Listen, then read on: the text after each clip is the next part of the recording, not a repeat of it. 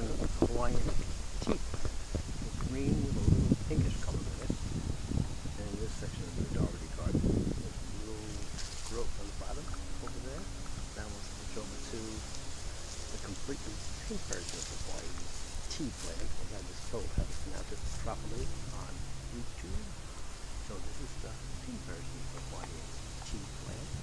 As you can see, it's the term that I commonly refer to as the leggy on another video I'll cover you and we'll do an actual cut of this place. So I can show you what it looks like when you make one short leg and involves getting one, two or three possible shoots. And I'll show you what happened on another Hawaiian Ti plant that I cut down several months back.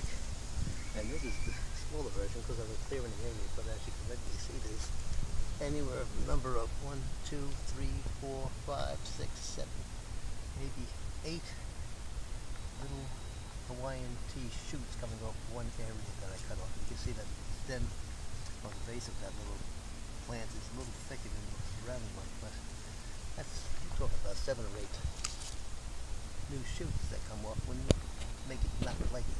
And my purpose was not for leggy, was just to clean up the area. As you can see, I have a ton of other plants here going through growth stages, and I'm doing this quick because I just want to guess this Hawaiian Ti video in before the big storm comes tomorrow.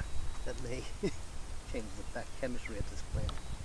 But as we go, let me just take you back to the other original Hawaiian Ti plant and take you right into the Hawaiian Ti plant, which is the prettiest one I think. There may be other colors, but I love with this one. And here is little blooms, light pink blooms on the Hawaiian Ti plant. And I'm waiting to just below over here, just going the area to see if we get any seedlings popping. Well, that was a little introduction before the storm hits tomorrow of the Hawaiian Ti plant at Green Dougherty. Follow us on WordPress. I will try and put a link on the bottom of this so you get all your comments. Thank you very much and enjoy the Green Dougherty or the Dougherty Garden as what I call it. Thank you. Goodbye.